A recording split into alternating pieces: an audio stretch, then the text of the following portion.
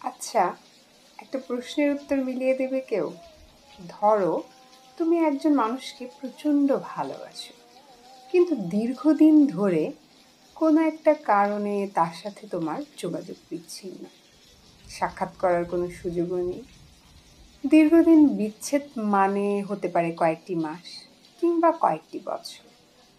সময়ের এই দূরত্বের কারণে তুমি বা তোমার সেই স্মৃতি মানুষটিকে ভুলে যাওনি। রোজ নিয়ম করে মনে করো, বিশেষ দিনে তার কথা মনে হলে চোখ ভিজে ওঠে। তাকে স্পর্শ করার জন্য নয় কিংবা তাকে সামনে বসিয়ে দেখতে চাওয়ার তৃষ্ণা মেটানোর জন্যও নয়। শুধু মনে পড়ে একটু কথা বলার জন্য। জানতে চাওয়া সে কেমন আছে। কোনো একটা সময় খুব প্রখরভাবে তাকে মনে হয়।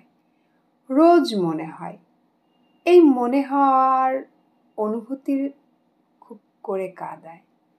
এমন মন কেমনের দিনে আচমকা সেই মানুষটা হুট করে যোগাযোগ করে বসে। আচ্ছা এমন কি হয় কখনো তোমাদের? আমার সাথে এই বেহিসাবি খেলা প্রতিনিয়ত হয়। আমি খুব করে যখন কাউকে মনে করি, আচমকা কোনো একটা সময় তার দেখা পাই, নয়তো কিছু কথা হয়।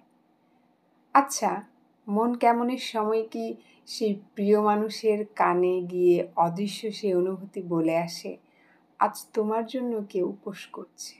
সময় হলে একটু খোঁজ নিও তার। তোমাদের কি এমন হয়?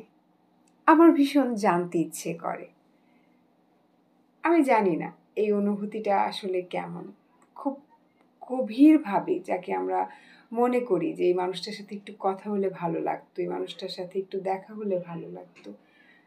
কয়েক মাস, কয়েক বছর তার সাথে যোগাযোগ নেই। হুট করে একদিন তার সাথে দেখা হয়ে যাওয়া, কথা বলার একটা সুযোগ পাওয়া। এমন নয় যে সে তোমার প্রেমিকই হবে, ভালোবাসার মানুষই হবে, বা তার সাথে সম্পর্ক তোমার কামনা বা মোহনারই থাকতে হবে। এক একটি সম্পর্কের গভীরতা এক এক রকম। সেটা বন্ধুত্ব হতে পারে কাছের কেউ প্রিয় কোনো বড় বোন বা প্রিয় কোনো বড় ভাই হতে পারে। হতেও পারে ভালোবাসার মানুষ। আজকাল আবার আমার ঠিক ওই প্রেম প্রেম ভাবটা আমার ভেতর নেই। চিন্তা করছি, এখন থেকে আবার নিয়মিত রোমান্টিক কিছু বই পড়তে হবে হুমায়ুন আহমেদের। ওই প্রেমিকা প্রেমিকা একটা ফিল আনার জন্য।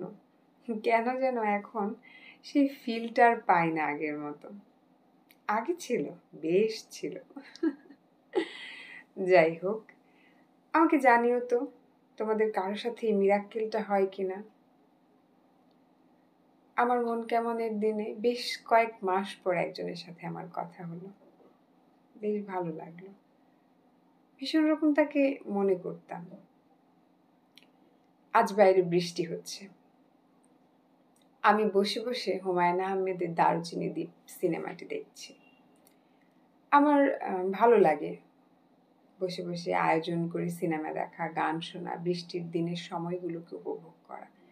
এটা হচ্ছে একদম রাতের বেলায় আমার ঘরের আবহাওয়া। আমি বাঁচি খুবই সাধারণভাবে। আমি সবসময় চাই সাধারণ একটা জীবন। এর বেশি কিছু নয়। সাধারণ জীবন যাপন করতে পারাটাও একটা সাহসিকতার বিষয়।